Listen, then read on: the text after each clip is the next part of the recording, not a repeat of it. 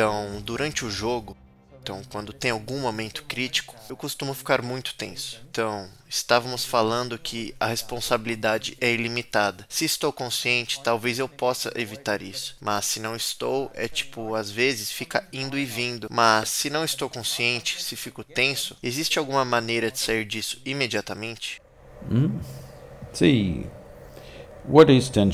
Veja, o que é tensão? Vamos entender isso. Você pode chamar de tensão, você pode chamar de estresse, você pode chamar de depressão, você pode chamar de transtorno bipolar, você pode chamar de tristeza, ou você pode chamar de loucura. Tensão ou estresse significam, na verdade, uma quantidade limitada de loucura.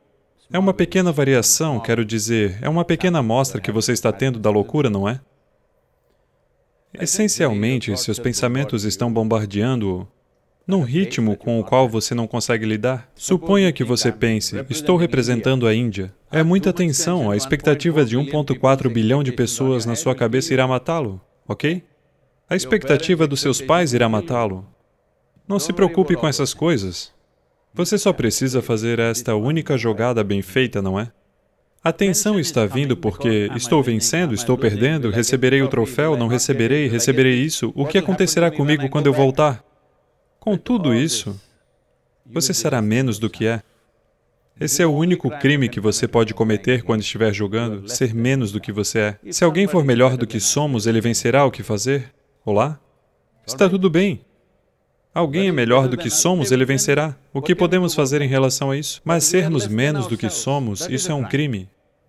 Esse crime, se você não o cometer, o resto está ok. Sei que é um treinamento feito no mundo inteiro. Como esse Pragnananda quer vencer todos os jogos de xadrez do mundo?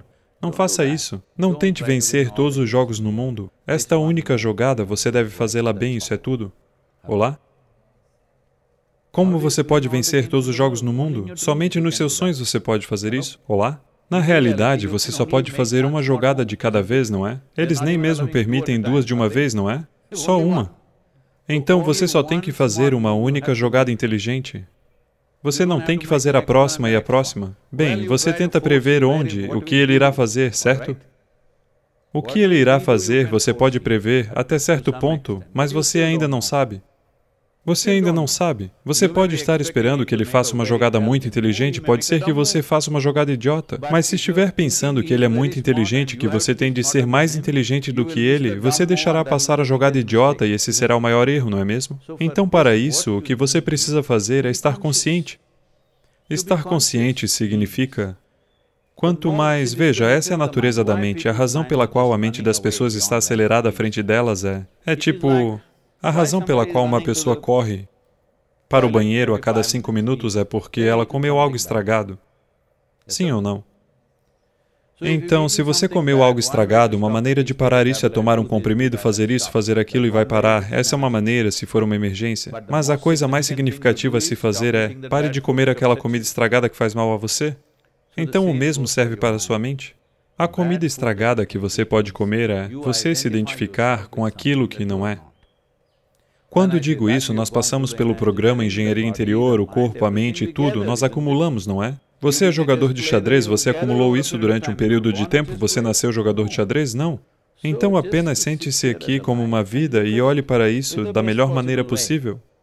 E o que percebemos, percebemos. O que não percebemos, não percebemos, não é? Mas nossa habilidade de perceber alguma coisa é imensamente reduzida no momento em que temos um nível desnecessário de processo de pensamento. Então, você lida apenas com uma jogada de cada vez. Quando você pratica, você pratica todas as jogadas, seja como for.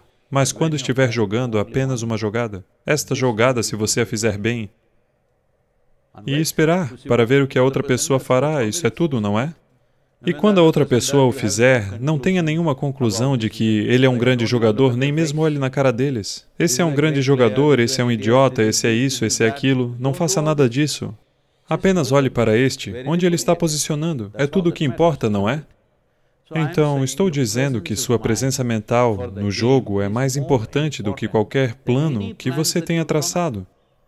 Todos esses planos e coisas são para flexibilizar sua mente, de modo que você esteja familiarizado com tudo.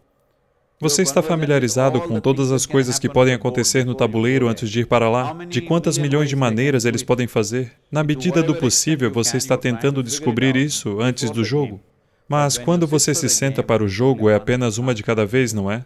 Porque se você não conhece o jogo e você se senta lá, é claro que o jogo é diferente. Você conhece o jogo.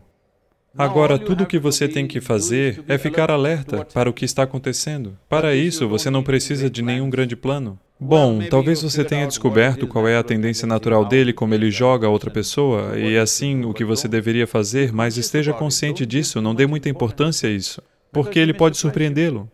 Ele pode surpreendê-lo com uma jogada brilhante, ou pode surpreendê-lo com uma jogada estúpida. As duas coisas acontecem, não é?